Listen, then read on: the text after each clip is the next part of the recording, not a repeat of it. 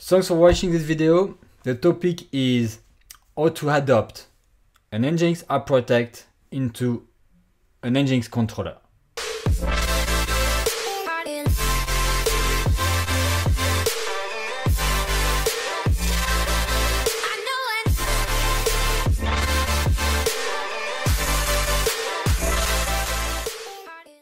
With the latest version of the Nginx controller, the version 3.12, that we name it CAS, Controller AppSec, we can now add a WAF into a component.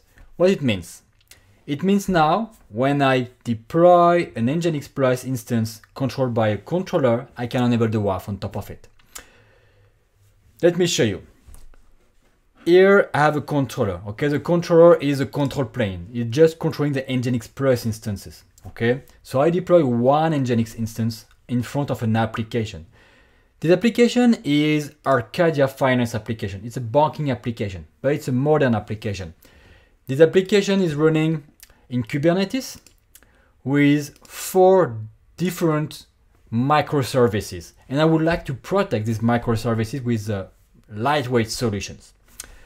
So as you can see here, I have uh, some uh, stock portfolio, so I could buy and sell stocks from here. This is a main application. I have on the right side money transfer. I can transfer money from from my account to my friends, okay, like or Vincent. And here is a refer friends. I can refer a friend uh, so that he can get some uh, advantages uh, from the bank and I can get 100 boxes back. So behind everything there is the a forced serve microservices, the database. Okay, so what I did first in the controller, I created all the services. Okay, so I created an application first. This is a bucket, and inside this bucket, I created components. A component is like virtual server and pool members in a big IP. So I have the main app, I have the backend. Okay, and the refer friends and the money transfer. Okay, so the free the free applications in the, in the website. And I would like to protect these these microservices. So before doing that, let's let's try to to make an attack somewhere. Okay, so I know this behind this this field. Uh, so let's say I could uh, I could refer a friend like uh, like Fouad. Okay, so Fouad at uh, at gmail.com uh, Fouad would get an email from the bank and perhaps I could get 100 boxes. But I know that I can do a SQL injection because I do some reverse engineering and I know behind the scene it's a, it's a NoSQL database. And if I send this attack, this attack means please response with everything that is not equal to michael at gmail.com. And if I send the request, I can see all the the content of the database. So Bob the Sponge, Fouad, my name, Nicolas. So I did the SQL injection, okay? So the, the service, the microservice is not protected. It's time to enable the WAF. So on the, on the controller, on the CAS, controller AppSec, I have a license, of course, I have a CAS license. Now I will have a new option. So let's go to the main app. Why the main app? Because main app is a front end and all the requests pass through the main app and then redirected from uh, east west traffic to the refer friend or to the money transfer.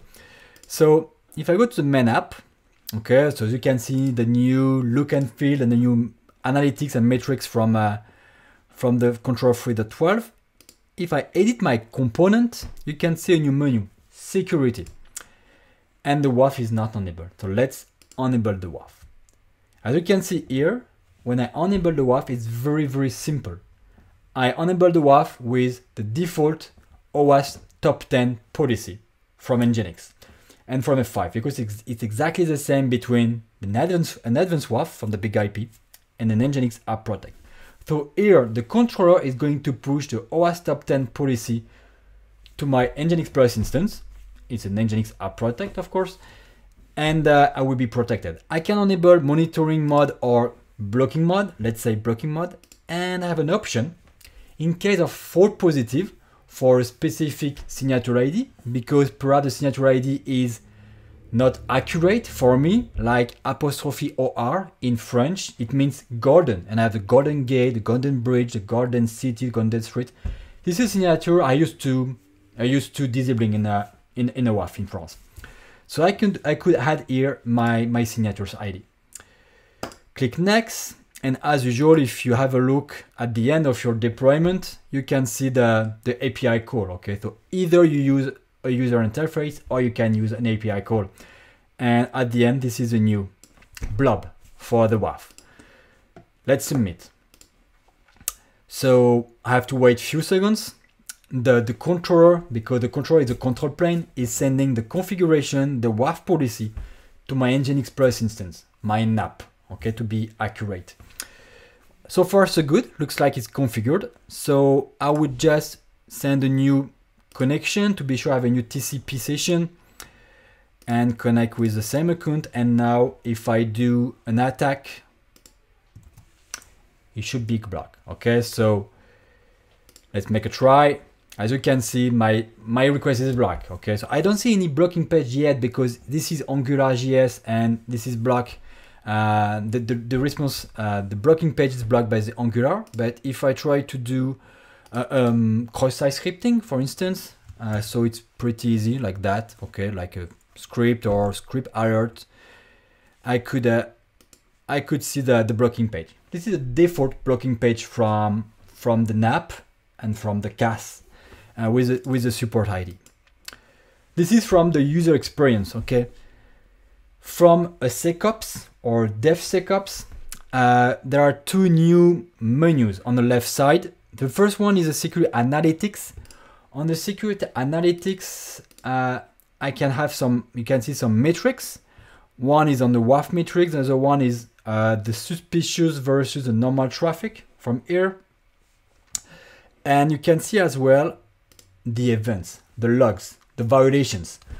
So it's 809, so I guess this is my two request block for the demo. The first one was a SQL injection, the, the other one was a cross-site scripting. If I select one of them on the right side, I can see it has been rejected. Okay, makes sense. Possible attack. Uh, this is the signature ID. So if I copy the signature ID, I can add the signature ID in the exception list. Okay, the exception list in the in the main app component in order to to bypass this, uh, this, this request because it's a false positive or not. The signature name is here, okay, it's a not, not equal, it's perfect, it's exactly what I did. Uh, the endpoint was slash trading slash reference, okay. When I click send, this is the, this is the post uh, or the get. And uh, here, this is the request itself, okay. And you can see here the, the exactly my request is here, okay? So this is the, the CAS, the controller AppSec. As you can see, in less than five minutes, I presented the CAS and how to enable a WAF in front of a microservice. Uh, it's so easy. Just select a component, enable the WAF, check your, log, check your logs. Perhaps you have to do some tuning just to, to do some exception on specific signature ID, and you are good. This is very agile, very lightweight, very easy to deploy. Thanks for watching.